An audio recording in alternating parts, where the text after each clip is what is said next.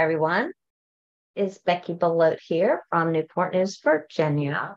And um, today I'm going to show you double page spread. I was inspired by uh, another idea that I saw from one of my teammates the other day and um, decided to, to kind of uh, go in a little different direction with it. But um, but um, I like it and it uses your border maker cartridges and your um, straight trimmer. Okay, um, so let's just go ahead and jump into it. Um, dogs are quiet. We've got to take advantage of those things, but I do appreciate you watching. Um, follow me on YouTube if you're not already at Scrapbook with Beckie. And I do have a blog that has lots of page layout ideas. However, I haven't done one for a while. I apologize. And that is also at scrapbookwithbeckie.com. So, anyways, thanks for watching. I really appreciate you. And uh, let me just change my screen a little bit and we will make a page, double page spread. All right, so um, what I am going to do, I'm going to work with uh, a couple of two base pieces. Now, these can be cardstock, they can be whatever you want, really. Um, this is from Cue the Blue, crazy pretty. Um, wish I had brighter light. I always say that. Look, I have bright light from the window right here. That's my bright light. All right. Um, let me see what happens if I turn this a little bit.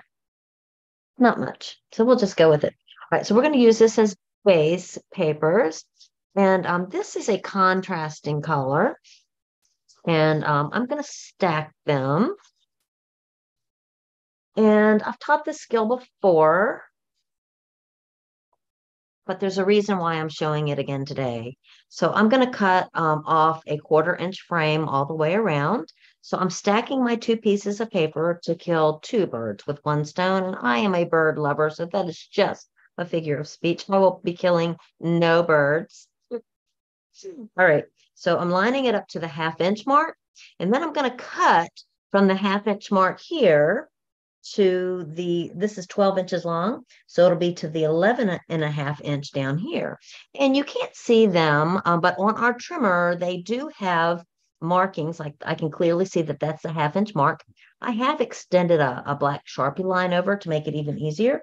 And then um, the 11 and a half is right down here. So I'm going to start at that one and go up to that one. Because it's two pieces of paper, you want to make sure it is cut all the way through. Um, this also works with cardstock, um, but then you really need to make sure it goes through. I did that just before this and it does work, but you have to go over it several times because of its thickness. All right, so back to the half inch, down to the 11 and a half inch.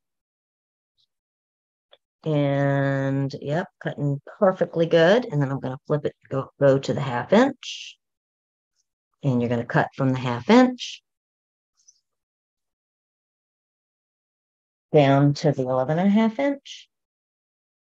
And we're going to rotate one last time. Now keep in mind, if you wanted a bigger margin, um, you would line up to the one inch, and then you go to the one inch down to the 11 inch. So whatever you line up here is what the numbers are that you use over and over and over again on all four cuts. All right, so this right here, last time we used this piece this time we're not. I'm going to put this aside, but we're not going to throw it away because that's another double page spread. And then we're going to do what we just did another time. All right, so now I'm going to take it to the half inch. If we took off a half inch twice, a half inch here and a half inch here off of a 12 inch piece of paper, you know, I mean, before I leave my train of thought, the half inch is really easy up here.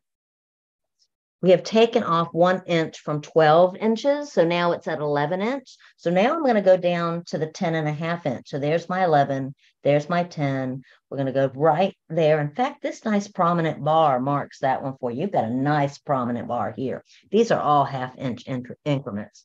So it really is easier than it looks. All right. And we're going to do that again. Line it up to the half inch.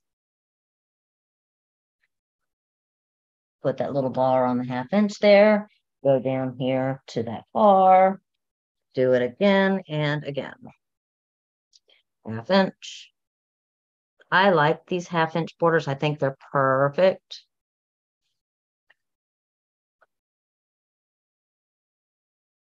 And last one.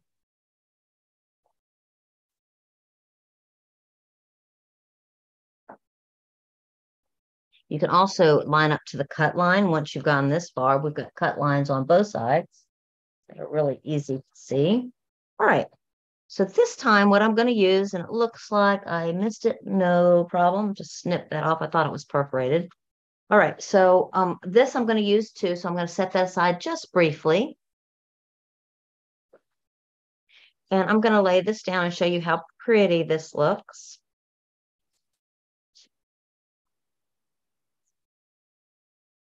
Okay, so it's not on the edge this time. It, it kind of gives a picture frame look, doesn't it? Super pretty.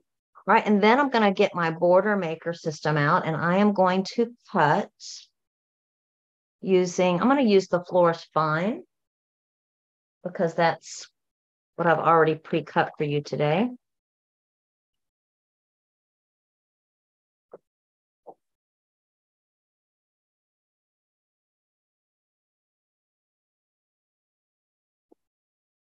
All right. So I put my paper in there. I pulled the little tray back after I lined up the paper, lining up this notch to this notch, and then to every notch along it. There are six of them. And after I do that, I'm going to cut this at three quarters inch. Like three quarters inch, it's not going to work with every single border maker cartridge, but it does work with this one.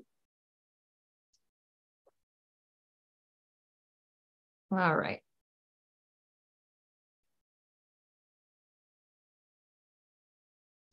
Three quarters in. All right. And I already pre-cut several of them for you. I want you to do four of those, okay? And then um, you can decide where you want to put them. Um, but what I think I'm going to do put them over. All right, so what I'm going to do is I'm going to snip, I'm going to, um, we decided was 11 inches. So we need to cut off an inch. I'm using my mat here to determine where that 11th inch is. My 11 is this end, depending on how you where you cut your mats. So that's beautiful. Cut off. I actually am going to do my other three at the same time so you don't get bored. Plus, I have a coffee appointment with a friend for my networking group very soon. So I can't lollygag. See here.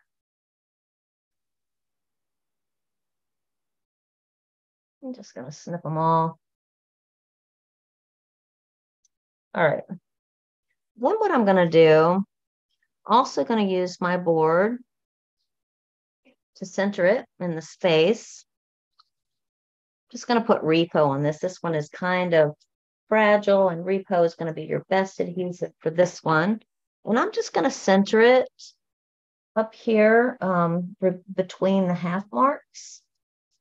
Oops, I think I'm going to go upwards because the, all of the pretty um, pretty part of this is up. Gave my dog a bone. Um, so he is outside barking because he know he wants to come in. Thought it would keep him busy. You probably can't hear him. Feel a little bit bad that he's barking, wanting to come in. I'll be not long. He'll be okay. He just needs to eat his bone. Whoops. Did I forget to cut this one? How could that have happened? Looks like I did. This one escaped the cut. All right, I'm just lining it up there. All right, and I think I'm going to do it at the bottom as well. Same thing, just go ahead and use your measurements down here. I love our mats because you can see the numbers even when your paper is completely filling it up. So it's really bigger than 12 inch, which is nice. Again, I'm going to do it upside down, going to the half inch marks on each side. because that's what I cut off. I know that's the proper length. And then we'll do it one last time.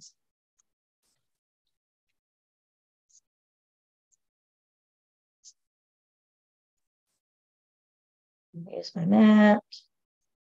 Going to go from a half inch upside down with this border to the other half inch. All right. And then what I'm going to do is put some adhesive on this. Both sides of this is really pretty. I think I'm going to use this side. Just put a little bit of adhesive all the way around. This reminds me, I have y'all, do y'all watch that TikTok video that has that girl that makes these stupid recipes that are really just so stupid?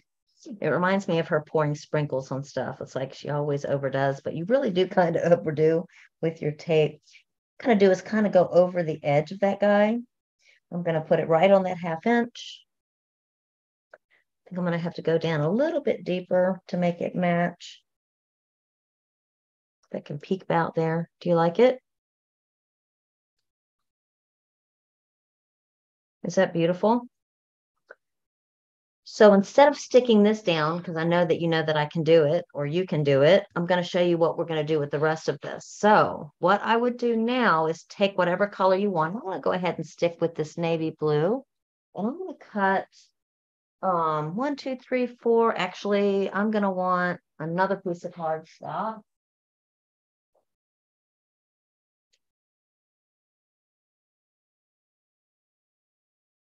All right. So I'm going to finish this this one piece up that I have. Actually, I, you know what? I was wondering about that. It's not really the right uh, height. So I'm not going to use it. I'm going to cut four inches. I'm going to cut four inches. And then, of course, this one is four inches. I'm going to stack them. That's three. And what that means is I need to push really hard to make sure that cuts.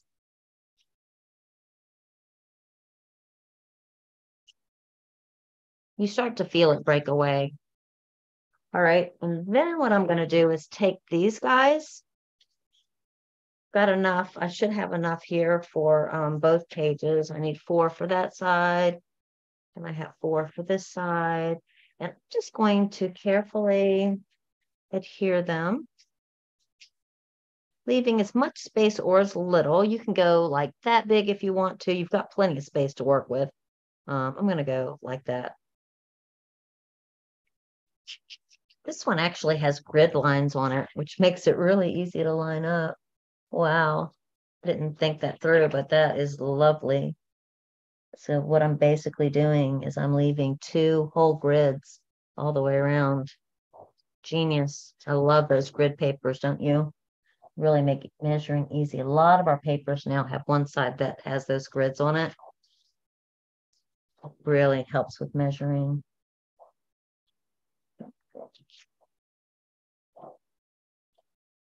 Should be a square. All right, and so now what I'm going to do is I'm going to cut off. I'm going to put my grid line. I don't even know if y'all can see the lines on this paper, but there are and I can line that line up that is the grid line with my cutting groove. Um, and if unsure, you can use this little guy to make sure that's accurate. And so I know that my spacing is good here. Do it again over here. All right. Now look at how pretty it looks here. Isn't that nice? All right, so um, another thing that I wanted to show you, um, these letters, these um, they're kind of ombre. The colors in the letters. No, you're not seeing things so like that. I went ahead and made a title last week. Um, I showed you how to have titles spread across a double page spread, um, and people were asking me questions about that. So I'm going to show you. It's not hard. Um, you can put it on the diagonal um, to make it a perfect, you know, whatever. But quite frankly, it doesn't matter. You just want to make sure you're not cutting through any letters. You do need to angle it you don't have to angle it, but I'm going to angle it because I think it looks super cool. And you can use this diagonal line to get a really specific cut. It doesn't matter. Just throw it at an angle. Make sure there's no letters in your space. And then what you'll see is, let's pretend like this side is already done. Let's make it look pretty. Let's put it side by side.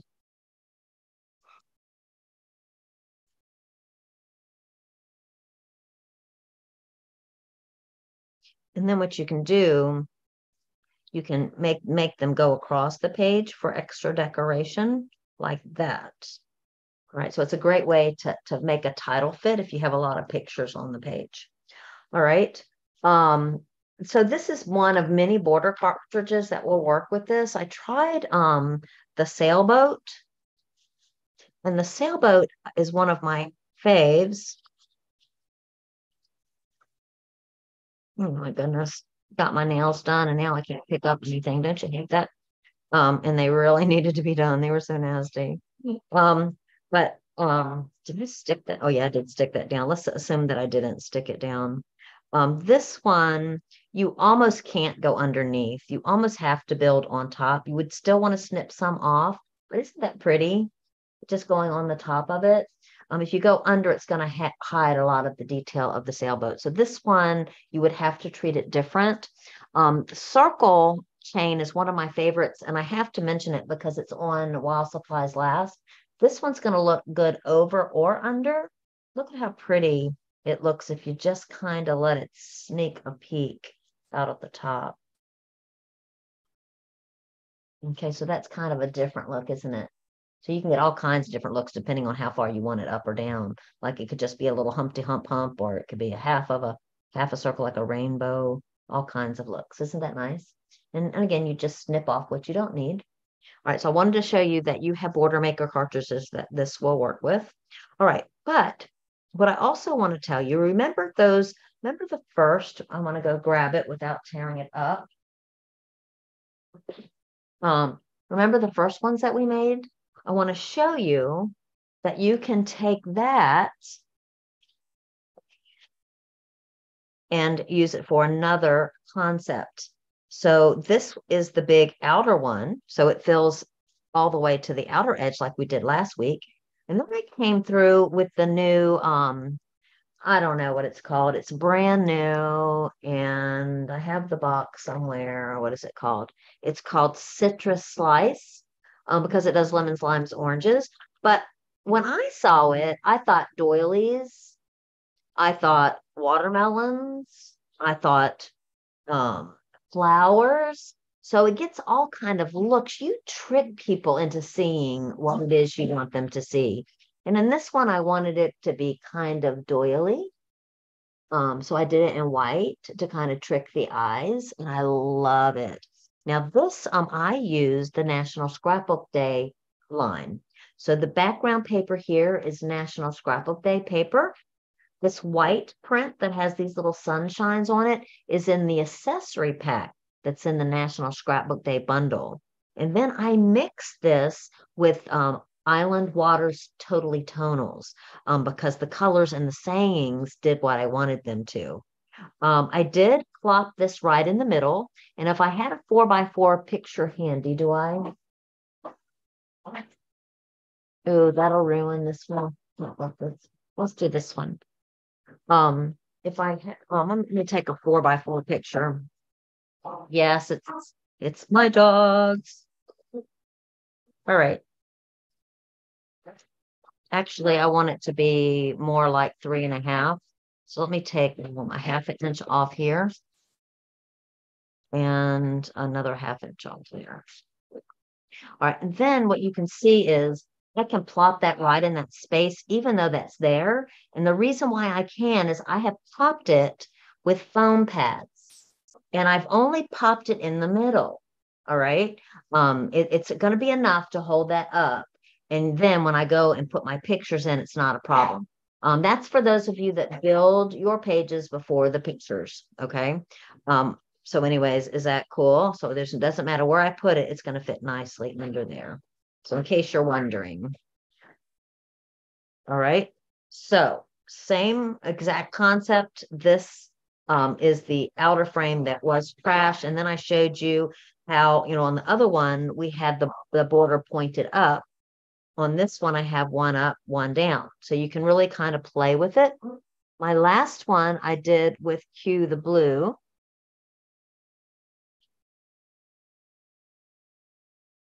And I did the same thing, but this time I let my border be on the side. So this was the inside one. In other words, I cut off the out, saved it, and then I have this facing out. Um, and put these little, uh, the Cue the Blue has these beautiful little um, epoxy dots. And I actually put two of them. I layered them. They're really thin and flat, which a lot of you like.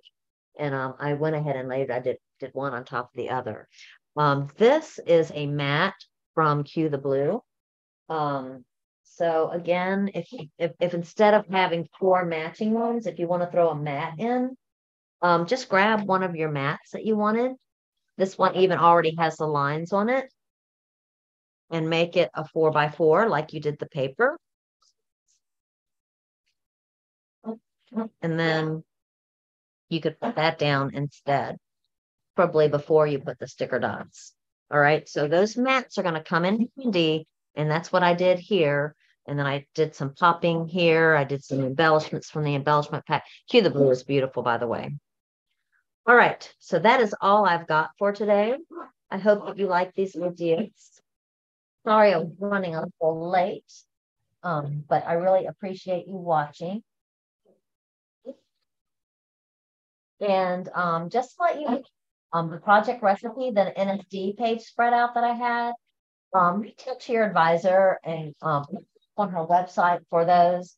Um, our company rewards us for selling at least 15 of those. So you can really help your advisor um, by bringing them. Um, I do lots of double page spreads with my personal days and not just the ones that the shows. Those are always going to be beautiful, but I still and it's a small line. It's not as big as some of our other lines. And so um hesitate to get of project recipes, and that will help your advisor get free things. They give us a, a whole box of um, free, um, like things that we can use, prices and stuff. come back to you guys. So thank you for supporting our sales team, Free Memories. Um, if you don't have an advisor, I'd love for you with me. Again, I am Beckie Belote, E-C-K-I-E, B-E-L-O-T-E, and you can create a memories